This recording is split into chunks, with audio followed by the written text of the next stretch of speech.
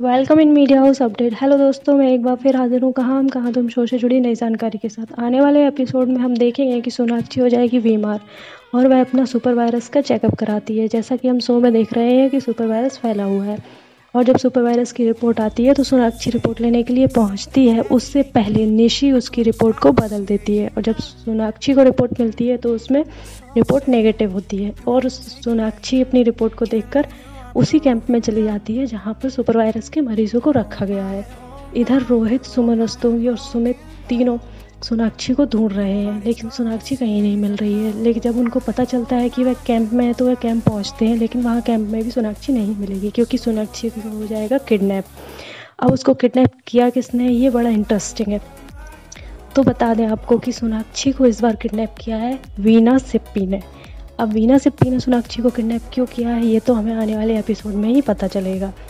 तो देखते रहिए, कहाँ हम, कहाँ तुम शो मंडे टू सैटरडे रात नौ बजे ऑन स्टार प्लस पर। और अगर हमारी वीडियो अच्छी लगी हो तो वीडियो को लाइक करें सब्सक्राइब करने के लिए बेल आइकन को प्रेस करें।